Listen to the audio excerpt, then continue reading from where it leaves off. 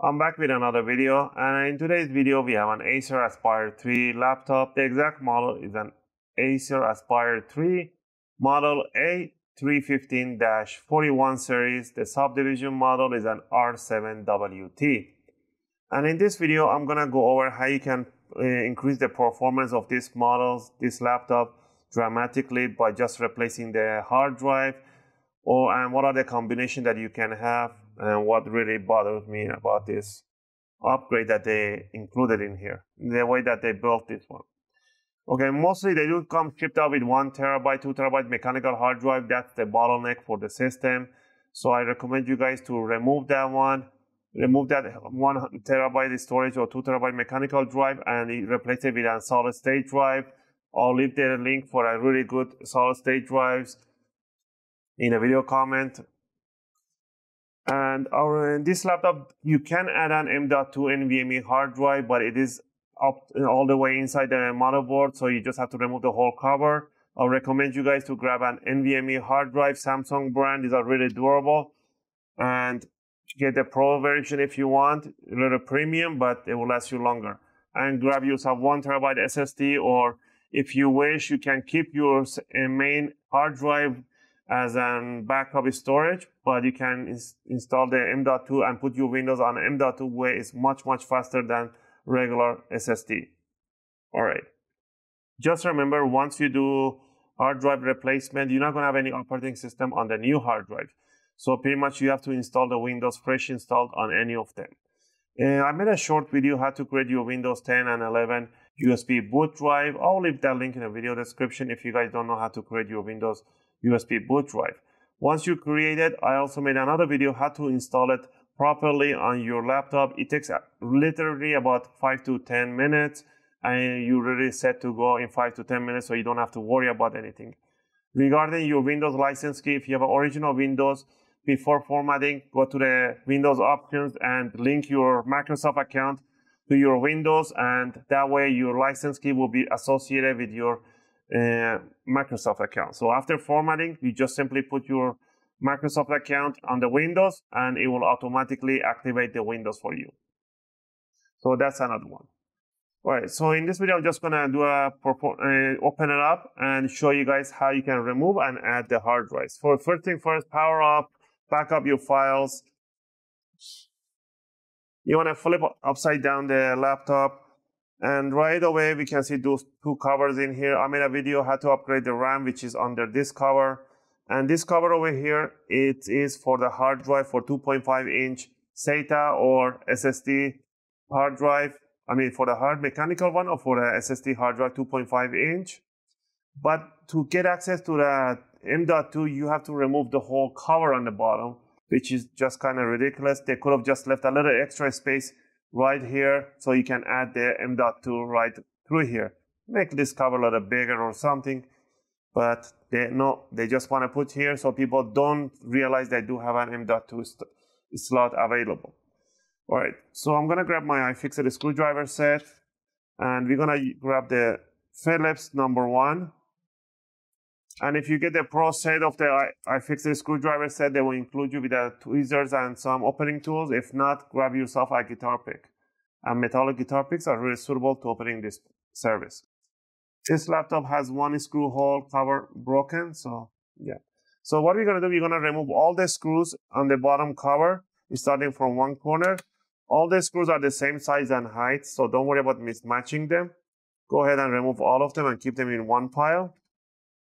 Also, if you guys like my videos, if my videos are helping you guys out to do your own upgrades and servicing, you can support the channel by clicking that like and subscribe. I'll greatly appreciate it.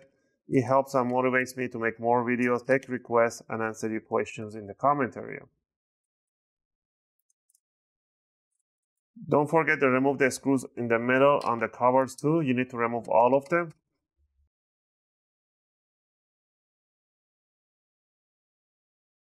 Right, now that we remove all the screws, just for those people that don't want to remove the whole cover, they only care about re replacing the mechanical hard drive to an SSD hard drive. They don't want to go through the whole thing to replace or add the M.2. You don't have to remove all the screws. All you need to do is remove these tiny screws and put your fingernail around here and lift it up. I don't have a fingernail, so I'm going to put a screwdriver right there. and lift up this cover really hard upward.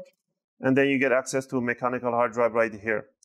Then what you want to do, you want to remove four screws, one on each corner almost. The black one, and these are for the caddy that hold the hard drive in place. So remove these four screws.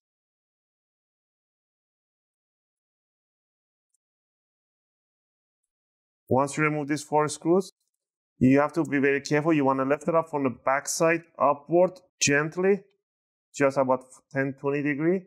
And you want to slowly bring it to the side. You want to yank this flex cable. You want to put your finger on the adapter, not on the cable, and pull the adapter this way. And from that side, release it like that.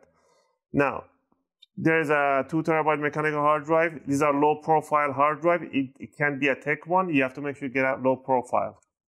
Any, you can grab up to two terabyte low profile hard drive, but make sure you remove this screw right here, this one right here, and this one and this one, and remove it and grab your new SSD, new mechanical drive, put it right there. Make sure the orientation for SATA is in the same, so you don't put it the other way around.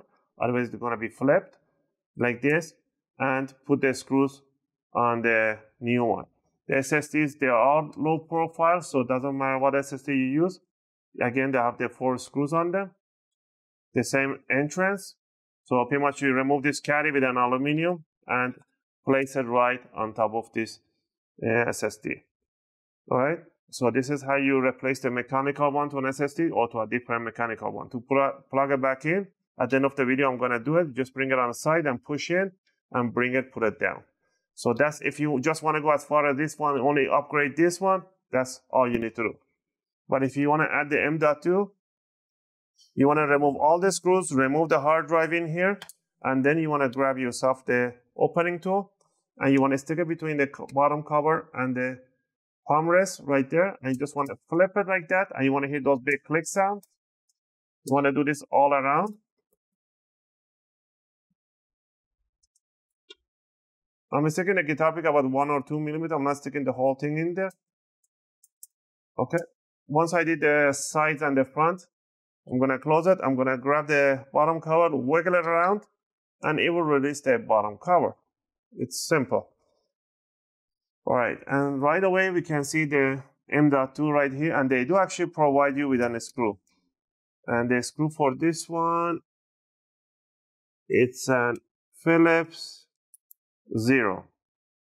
So grab Phillips Zero and remove this screw right there, uh, tape on it.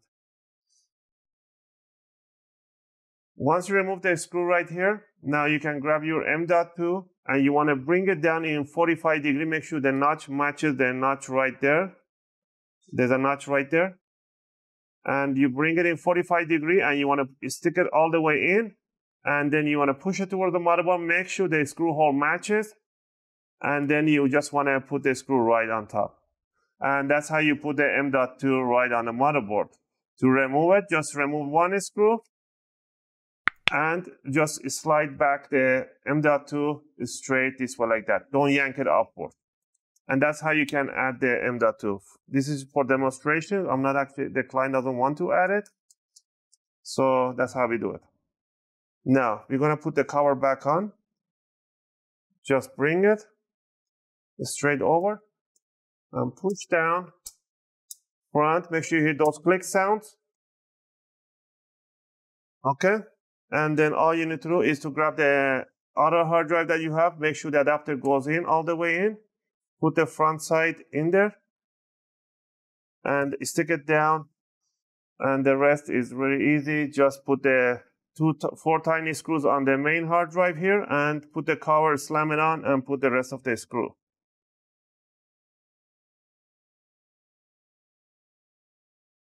Okay, once we put the four screws for the caddy, all you need to do, grab the cover.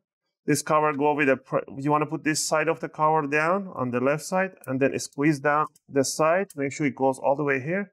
And the last thing is to just slam down all the screws which are the same size and height on the bottom cover. Again, I hope you guys like this video and helps you guys to do your own upgrade for your Acer Aspire 3 laptop. If you have any question or requests, feel free to leave them in a video comment. I'll try to answer them as soon as I can. As always, thanks for watching, and I'll see you guys in my next video.